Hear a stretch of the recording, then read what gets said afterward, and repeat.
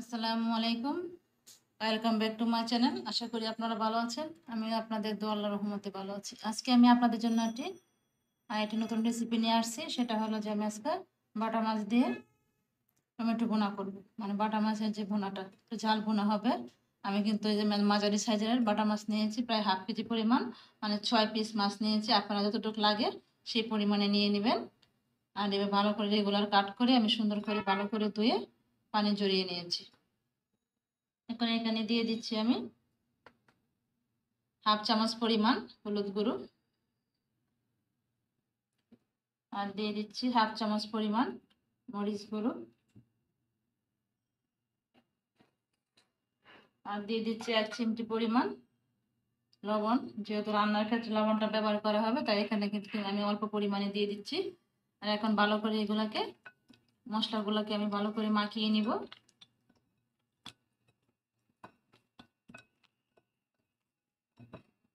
পানিটা জড়িয়ে নিলে কি হয়? মানে শুকনো থাকে মাছগুলি মানে মশলাগুলাও খুব ভালোভাবে মেখে নিয়ে যায়।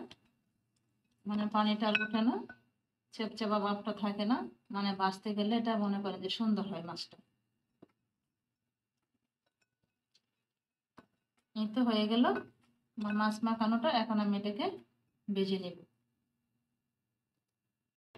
চুলায় আমি এখন একটা ফ্রাই প্যান বসিয়ে দিলাম। আমি চুলায় একটা ফ্রাই প্যান শুরু করছ? দর্শক চুলায় আমি একটা ফ্রাই প্যান বসিয়ে দিলাম, চুলাটা অন করে দিলাম। চুলার হিটটা কিন্তু মিডিয়াম লোতে রেখেছি আমি।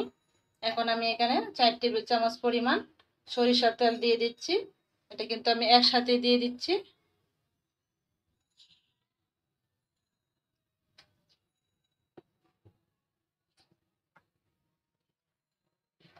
তেলটাকে একটু ঘুরিয়ে নিই, আমি ফ্রাই প্যানে ঘুরিয়ে নিলে মনে করেন যে একটু সুবিধা হবে। এখন যে ম্যারিনেট করা যে মাছগুলো, এগুলো আমি এখন দিয়ে দিচ্ছি এক এক করে।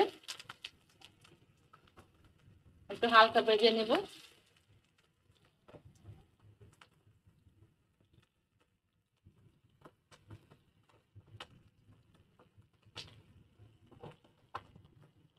এভাবে কিন্তু আমি মিডিয়াম মিডিয়াম একটু হাই হিটে একটু বেজে নিচ্ছি খুব বেশি হাই না মিডিয়াম হাই হিটে একটু ভেজে নেব এইভাবে দেখুন, আমার মাছটি কিন্তু এক পাশ হয়ে গেছে। আমি কিন্তু একটা পাশ এখন উল্টিয়ে দিব।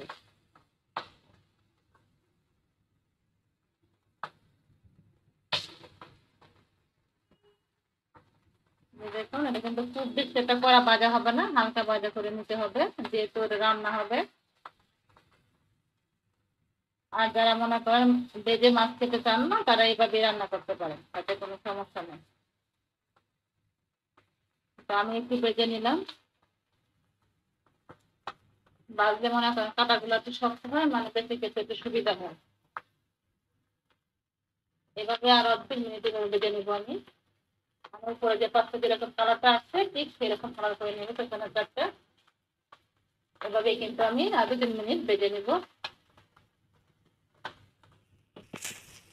দেখুন দর্শক আমার কিন্তু হয়ে গেছে।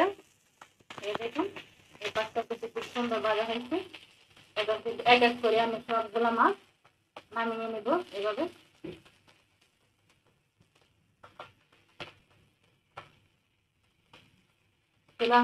কিন্তু আমি মিডিয়াম লোতেই রেখেছি। মাছ বাঁচতে কিন্তু মিডিয়াম লোতেই বাঁচতে হয়, খুব বেশি কিন্তু মাছ বাঁচলে মনে মাছটা পুড়ে যাওয়ার সম্ভাবনা থাকে। এবং ভিতরে কিন্তু মশলাগুলো আর দেবে না। আমি কিন্তু এখানে অন্য কোনো পাতিল নেব না, এই পাতিলে কিন্তু রান্না করব। আমি এখানে আরও চার টেবিল চামচ পরিমাণ সরিষা তেল দিয়ে দিচ্ছি। যেহেতু আমি আজকে সরিষা তেল দিয়ে রান্নাটা করব।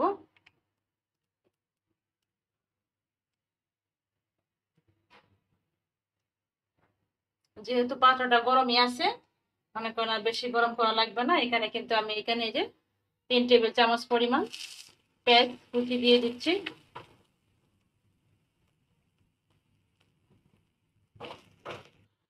এই দেখুন, আমি কিন্তু পেঁয়াজটা দিয়ে নাড়াচাড়া করে নিচ্ছি, একটু হালকা ভেজে নিব। সফট হওয়া পর্যন্ত খুব বেশি এটা ভাজবো না কিন্তু, লালচে কালার করব না। দেখেন আমার এটা কিন্তু হালকা ভাজা হয়ে গেছে। আমি কিন্তু সোলার হিটটা মিডিয়াম লোতে রেখেছি।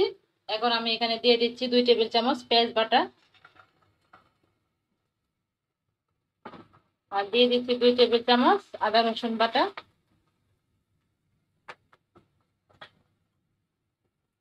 যেহেতু মশলাটা এখন ছিটে আসবে, আদা কিন্তু ছিটে আসে, তাই এখানে আমি ওয়ান থার্ড কাপ পরিমাণ পানি দিয়ে দিচ্ছি। পানিটা দিলে মনে করেন আর মশলাগুলো ছিটে আসবে না।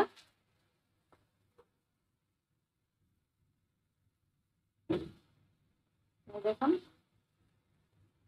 আমি এখন এক এক করে সবগুলি মশলা দিয়ে দিব।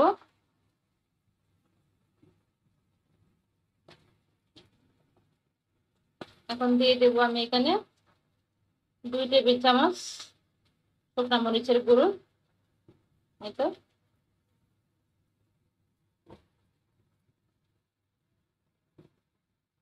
আর দিয়ে দিচ্ছি এক টেবিল চামচ পরিমাণ হলুদ গুঁড়ো।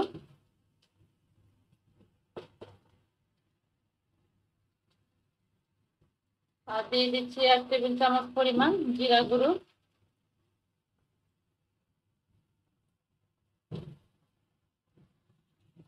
আর দিয়ে দিচ্ছি এক টেবিল চামচ পরিমাণ ধনিয়া গুঁড়ো।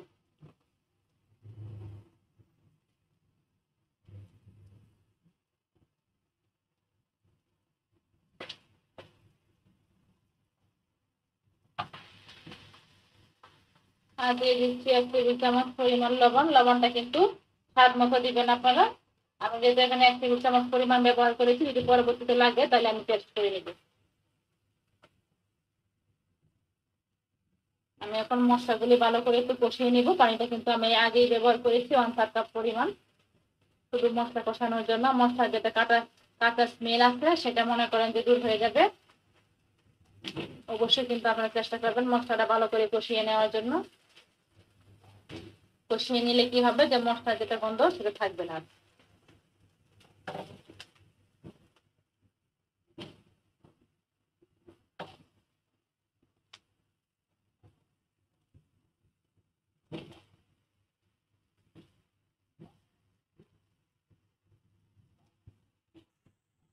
এটা মশলাটা কিন্তু আমার কষানো হয়ে গেছে। এখন এখানে আমি এক কাপ পরিমাণ টমেটো কুচি দিয়ে দিচ্ছি। টমেটোটাকে আমি ভালোভাবে আবার কষিয়ে নেব।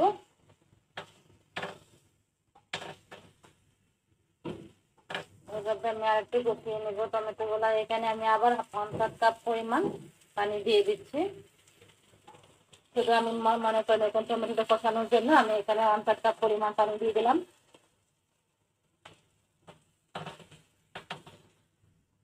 এভাবে আমি দুই থেকে তিন মিনিট একটু কষিয়ে নিব। টমেটো গুলো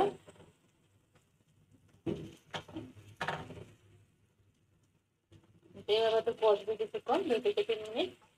তারপরে আমি মাছগুলো ব্যবহার করব। এই দেখুন, আমার কিন্তু এটা অলরেডি কষানো হয়ে গেছে। দেখুন, মশলার কিন্তু এটা সুন্দর একটা ফ্লেভার আসছে, টমেটোটা মোটামুটি গলে গেছে।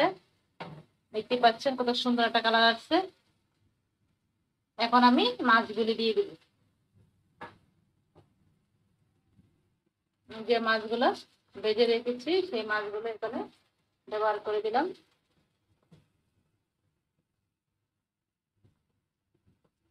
এখন আমি পানিটা ব্যবহার করব। দেখুন, আমি এখানে এক কাপ পরিমাণ নর্মাল যে পানিটা আছে, সেটা দিয়ে দিচ্ছি।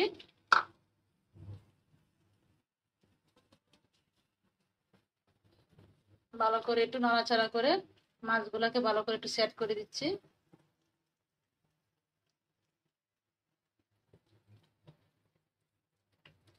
এটা কিন্তু খুব বেশি ঝুল হবে না। একটু মাখা মাখা থাকবে। আমি এখানে আর হাফ কাপ পরিমাণ পানি দিয়ে দিব। আমি আর হাফ কাপ পরিমাণ পানি দিয়ে দিচ্ছি।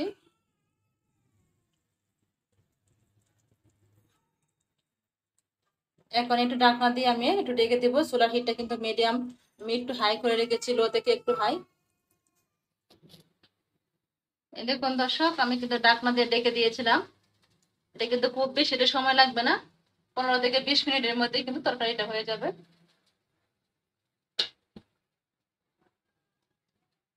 দেখুন, আমি এখন আস্ত হাতে একটু মাছগুলাকে মনে করে একটু নাড়াচাড়া করে দিচ্ছি। খুব বেশি নাড়াচাড়া করা যাবে না হয়তো ভেঙে যাওয়ার সম্ভাবনা থাকবে। এটা কিন্তু ঝোলটা মোটামুটি কিন্তু শুকিয়ে আসছে।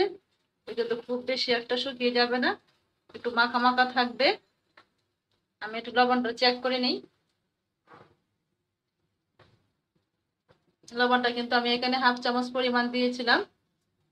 এবং যখন মাছটা ভেজেছিলাম, তখন দিয়েছিলাম প্রায় এক চিমটি পরিমাণ। তাই লবণটা খুব বেশি মনে করেন যে লাগবে না আমার কাছে মনে হলো যদি আপনারা একটু বেশি খান, তাহলে একটু বেশি দিয়ে নেবেন। আর এখানে দিয়ে দিচ্ছি আমি এখন দুই টেবিল চামচ পরিমাণ ধনিয়া পাতা কুচি। আর দিয়ে দিচ্ছি এখানে ছয়টা কাঁচামরিচ। কাঁচামরিচগুলো আমি মাঝখান থেকে ফালি করে দিয়েছি। মানে কাঁচামরিচটা তো ফ্লেভারটা আসে। আমি কিন্তু সব সময় মোটামুটি যে কোনো তরকারি হোক, মাছ হোক মাংসতে হোক, আমি কিন্তু হয়ে যাওয়ার আগ মুহূর্তে কাঁচামরিচগুলো দিই। তো ফ্লেভারটা ছড়াই কাঁচামরিচের ফ্লেভারটা কিন্তু খুব সুন্দর একটা ফ্লেভার আনে। তরকারিতে যদি প্রথমে দিয়ে দেন, তাহলে কিন্তু সেই ফ্লেভারটা আর থাকে না। আমি কিন্তু এটা এভাবেই এখন কিছুক্ষণ, দুই মিনিটের জন্য একটু ডেকে দিব। এটা কিন্তু হয়ে গেছে। চুলার হিটটা কিন্তু আমি মিডিয়াম লোতে রেখে দিয়েছি। শুধু ডেকে দেওয়ার কারণটা হলো যে ধনিয়া পাতা এবং কাঁচামরিচের যে একটু ফ্লেভার সেটা আসার জন্য আমি একটু ডেকে দিলাম। আর চুলার হিটটা কিন্তু আমি মিডিয়াম একেবারে লোতে করে দিয়েছি। দুই থেকে তিন মিনিট পরিমাণ এটা কীভাবে ডেকে রাখব? এই দেখুন দর্শক, এটা কিন্তু হয়ে গেছে আমার এটা। এখন কিন্তু আমি চুলাটা অফ করে দিব। দেখুন, সবুজ সবুজ কালারটা রয়ে গেছে, ধনিয়া পাতা এবং কাঁচামরিচের। তাহলে চলুন, এটাকে আমি আপনাদেরকে পরিবেশন করে দেখাই এখন। এখন আমি একটা প্লেট নিয়ে নিলাম। এই প্লেটে মনে করুন এটাকে, আমি এখন ঢেলে দিচ্ছি। দেখুন।